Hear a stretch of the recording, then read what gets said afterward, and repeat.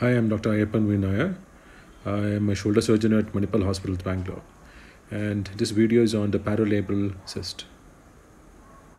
A paralabral cyst, as the name suggests, is a cystic swelling inside the shoulder around a particular structure called as the labrum. Labrum is a soft tissue ring-like structure around the glenoid or the socket. This picture shows the socket, that's a glenoid, and the labrum around it. So in some people, what happens is there's a small tear in the labrum and through which the joint fluid or the synovial fluid seeps in and forms a small balloon-like swelling. And this is called as a paralabral cyst.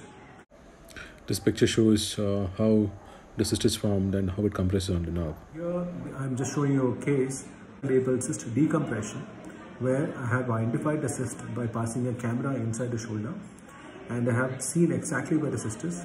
I have decompressed it, that means I have let out the fluid and I have done a repair of the labrum so that it does not pick up.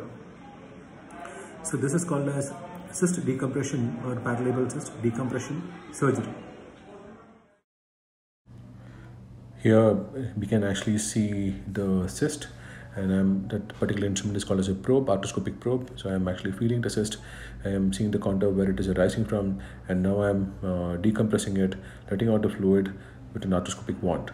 The last step is after this is done, I'm doing a repair and tying up the labrum back to its position.